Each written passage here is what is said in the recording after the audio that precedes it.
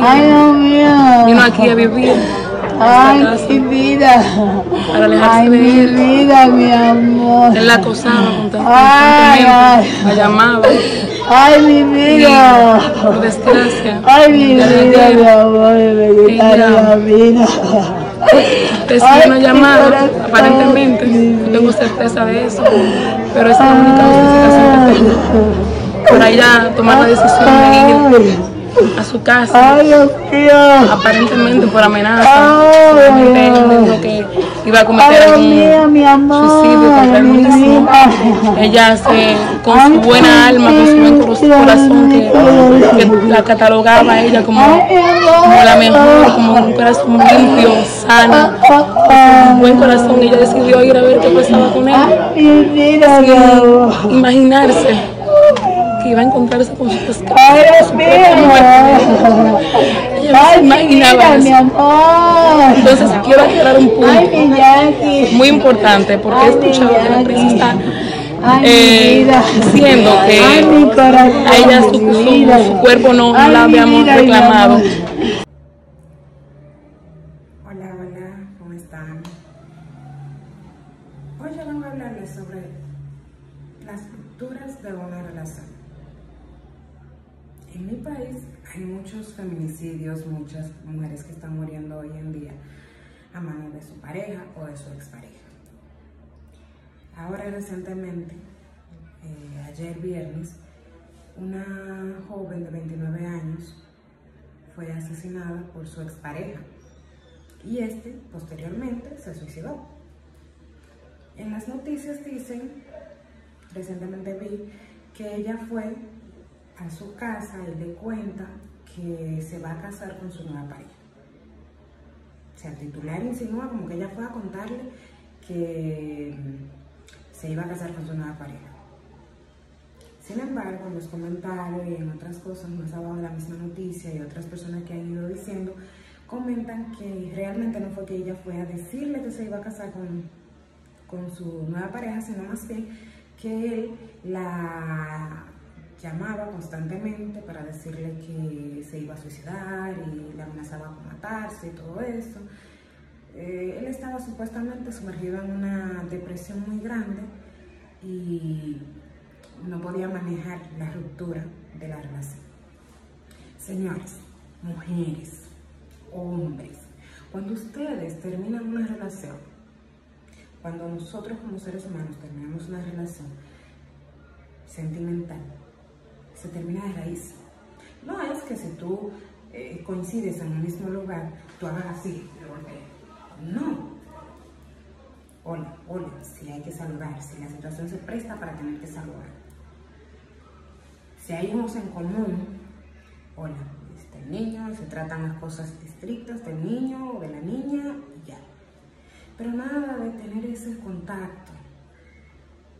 Yo no soy quien para juzgar a la joven. Pero a veces no cerramos las ventanas de la forma correcta, no somos claros. Dejamos las cosas como entredicho. Ay, es que me da cosita, me da temor, me da, me da como pena, él es muy bueno. Porque vecinos aseguran que el joven era un joven eh, trabajador, un joven bueno.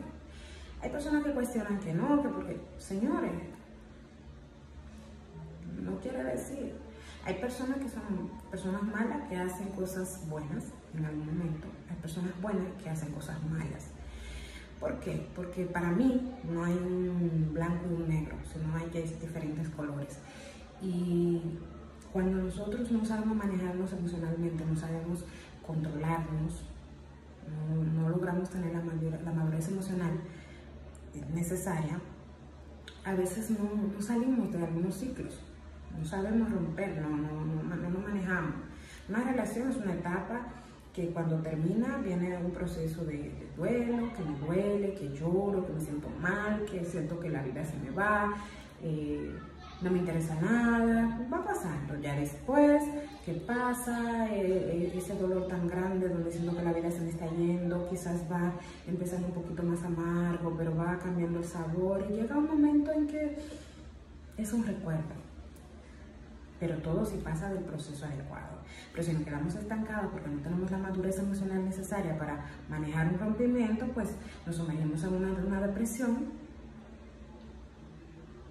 Y si nuestra autoestima no está fuerte, no es una autoestima buena, donde podamos decir, eh, bueno, esa persona ya no quiere estar conmigo, me duele, me duele en el alma, eh, yo la amo, yo lo amo, pero lamentablemente hay que seguir, hay que seguir. Si no me quiere, ya, se acabó. Eh, aunque me duela, lo lamento. Y por eso es que en una ruptura se toma distancia, se hace distancia. No se trata de enemistad, no se trata de odio, de rencor, se trata de eh, espacio, espacio. ¿Por qué? Porque a veces nosotros no sabemos lo que hay en el corazón del otro. Quizás esta joven no pensó que ese muchacho, ese hombre, iba a ser capaz de hacer eso. Pero era una persona que no manejaba sus emociones, no manejaba, no tenía control de ella, no tenía control de sí mismo, no tenía una autoestima saludable. No, no le importaba ya su vida. Porque para esa persona probablemente ella era su vida, su mundo, error del ser humano. Mi vida no es otra persona. Porque aunque suene duro, ni siquiera los hijos, señores, porque los hijos se casan, crecen, hacen su vida. El amor se da incondicionalmente, surge, sale, pero eso no quiere decir que está atado a uno. Que si, esa persona no te quiere, pues es obligatorio, me tienes que querer, me tienes que querer, me tienes que querer. No, usted me va a querer porque yo lo quiero. No, no es así. Si fuera así, fuera muy fácil, porque tú vas conmigo, tú me gustaste y tú me fuiste tú me gustaste y ya. No es así. No lo es. No es así. Es más complicado que eso. Y a veces nosotros pensamos en encontré el príncipe azul, la, reina, la princesa, ese es el amor de mi vida, pero resulta que usted no sabe cómo va a pasar en el futuro. Puede que ese no fuera. Puede que ese no fuera. Dicen por ahí, a mí me tocó besar muchos sapos hasta encontrar mi príncipe. Por ahí, puede decir. Pues usted no sabe. No cierre su cabeza a que la única posibilidad de amor era esa. Y por favor, señores, cierren ciclos. No dejen ventanas abiertas, no dejen espacio, no dejen eh, rendijitas pequeñitas, como cuando las casas de tabla que tienen pequeñas aberturas. Yo voy a dejar un... No. Ah, que yo terminé con mi exnovio, con mi ex esposo, yo rompí la relación y ya, y eh, un día él me dijo, ven que te voy a llevar allí. No, ¿por qué? Si yo puedo pagar mi taxi. Señores, sí, suena paranoico, pero lamentablemente nuestro país está en crisis con esta situación. Y cuando uno se excede en confianza, en ingenuidad, a veces terminan pasando cosas desastrosas. Tomamos conciencia. Y lo, lo más importante, nadie es dueño de nadie. Si alguien no te quiere, no te quiere ya. Deja eso. Aunque duela. Vaya, tránquese en su habitación, llore, beba si quiere beber, haga lo que usted quiera para superar el dolor, pero ya no persiga, no hostigue, no, no moleste, y mucho menos atente con la vida, contra la vida de nadie, ni contra la suya por algo así. No lo haga, porque no lo vale. No lo vale.